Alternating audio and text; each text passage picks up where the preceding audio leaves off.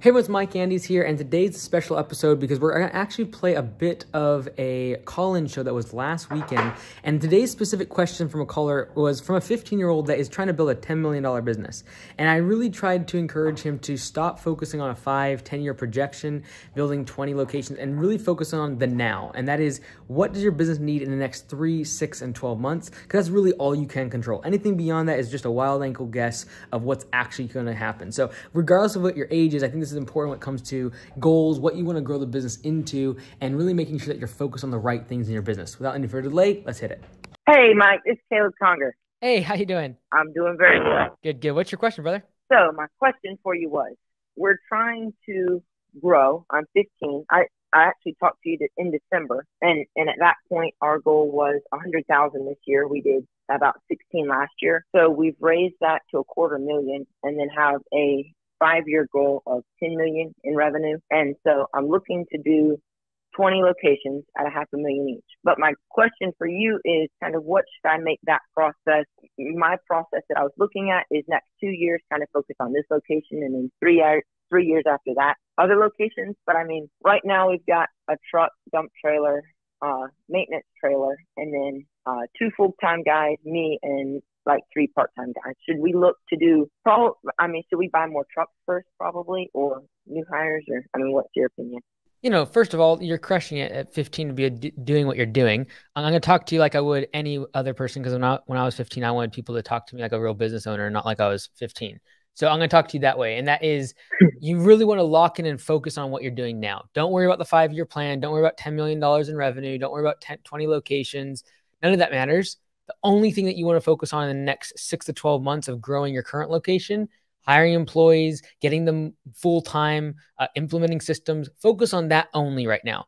I know it's easy to get wrapped up into how many locations you're going to have or you know revenues. That's very cool. And hey, you crushed it. You know, we we planned for a hundred thousand. You're shooting now for a quarter. That's awesome. Um, but just focus on that one location and just keep tweaking it, making it better till it can run without you. Then start focusing on the next thing, which is what your second location, right? Like that's the only thing you need to focus on. Don't worry about getting wrapped up in the numbers or things like that. Like you don't hear me talk a whole lot about like even how many locations we want for Augusta and things like that because it doesn't really matter. I'm focused on like the next few months. These are the operational things I'm trying to get done. And for you, I would stay within 12 months. Anything beyond 12 months is a wild ankle guess in terms of what's going to happen. And you know, things happen in life, things happen okay. in the economy, things happen with employees. So don't don't put too much emotional uh uh, investment into what the future is going to hold past 12 months. Yes, sir. Do you suggest looking to do like more more trucks? Next? I mean, in our market, the lawns that we're regularly servicing are about three quarter acres, and it's common to use uh, like zero turns. I know y'all use the trailerless setup, and we normally use 60 inch zero turns. Is it a good idea to do what's called like an Isuzu truck, where it has a flatbed and you put a ramp on the back? Or is it a better idea to just do pickup trucks and trailers? Or, I mean, what have you seen markets like that? And what yeah. Yeah, it definitely depends on the market. I've seen some people that swear by the Isuzus. Other people say they're too much maintenance. Uh, personally, like I'm horrible mechanic. I have nothing, no idea what I'm doing. So if I was starting out, I wouldn't want to buy a piece of equipment that I have no idea how to fix and potentially could be very expensive to fix or hard to find people that can work on them. Um, so I would definitely look at Landscape Business Course, the Facebook group. There's been some really good uh, uh, debates about Isuzus and what people's opinions are. I have not used them personally, uh, mostly because I feel like it's one of those things. If you're going to buy them, you kind of got to keep buying them.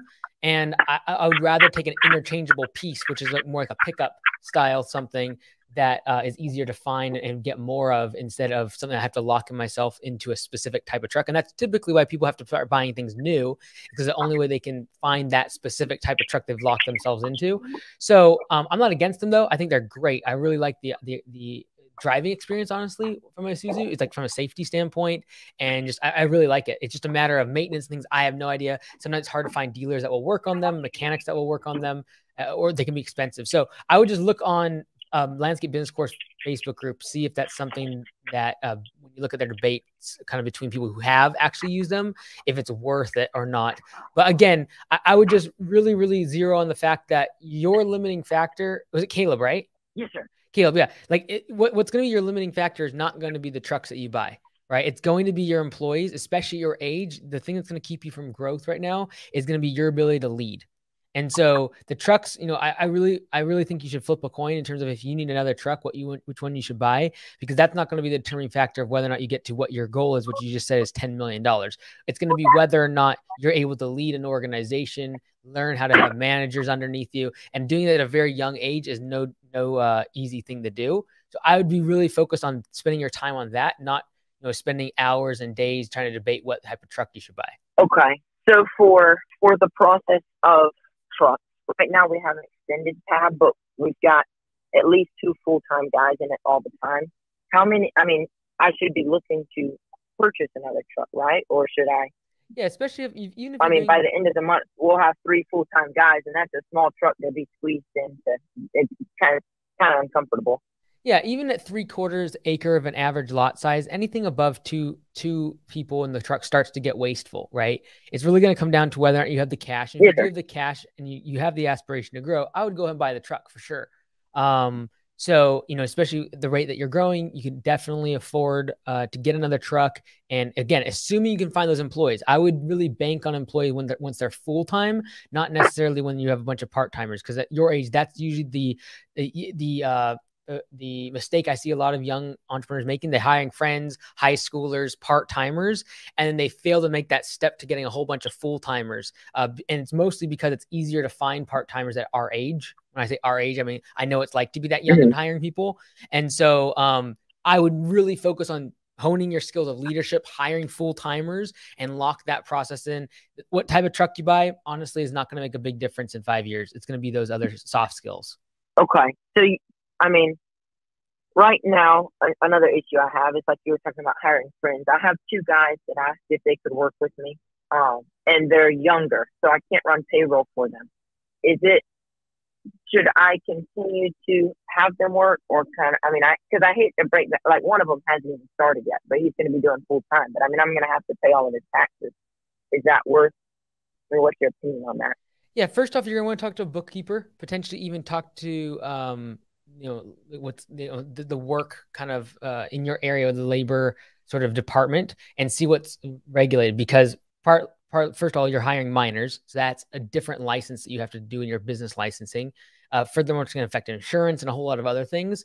So again running your business that way before doing that and then taking a step toward you're hiring people above 18 that have driver's licenses that you can get a regular business license uh, that you can run payroll for that's a whole different step of business right? So that's what i want you to focus on over the next couple years doing that and then focus on like growth and expansion and more trucks all that down the road. Okay. All right. Because i know i know there's like an unlimited supply of you know 15 16 year olds that are willing to work for you part-time but they're not that you can't build a really good business yes, on part-timers that are 15 and 16 they're usually less reliable in terms of showing up. They're typically they don't need the money. It's just you know side cash they're trying to make. And so building a business that is sustainable and and uh, you can promise to customers you're going to get jobs done and know it can be done and uh, you can schedule things out in advance you're going to need full timers and you're going to want people that can drive people that can insure people that can run on payroll that you have a legit business and so that would be what i'd be really pushing towards doing and that's not easy when you're 15 okay and then i had one other question for just culture and everything should i do weekly team meetings or i mean how often should i do those and how should i spend it like y'all do two team meetings a week and then off-site meetings and all that stuff. Should I be worried about that as much? And I mean, yeah, as soon as, I don't know. What's your opinion on kind of passing the vision along to others? Yeah, when you have a couple, a couple, only a couple employees, it's a little bit weird sometimes to have uh, uh, meetings. Uh, in just like literally every single morning, you're seeing them already. Now, if you're working part time doing like school mm-hmm. things, you're going to need to make sure you actually do have in person meetings. But I'm assuming that you're getting the day started with them, and so you're already kind of connecting with them every single day what gets really important when you start getting three, four, five employees is having dedicated times on a couple days a week where you do have an actual meeting time to talk about specific things, safety, uh, callbacks, uh, training, and that becomes more important. It's a little bit strange when you only have one or two employees, just because you already are talking them every single morning. But the, for, the sooner you can get into that habit of making those regular uh, meeting times and have a specific day or two a week where they know first thing you're doing that morning is a meeting is a good thing, uh, in my opinion. Okay. And then for yellow slips, how should that, I mean, because don't y'all kind of pin up your yellow slips if the crew is out working and I'm working with them? Do I just say, hey, we got a yellow slip and go do it? Or do I actually write out a yellow slip or do I wait till we get back and then pin it up on the wall? I mean, that seems kind of dumb. How, I mean, what's the best? If we've got like two crews, what's the best way to do that? Just to call them and tell them, or? Yeah, I think um, the the best way to do that is going to be still, even though with with if you're with the crew, make a yellow slip, write it up, put it on the wall, and then that's what you're going to go over at a meeting is making sure that you actually go over what happened, how it was resolved, what we could have done to improve that and resolve or, or, or you know circumnavigate making that mistake altogether. It's a great way to start with your meetings is just using those callbacks as a, a way to kind of kick that off. So I appreciate calling in, Caleb. I'm going to go ahead and go to move to the next caller.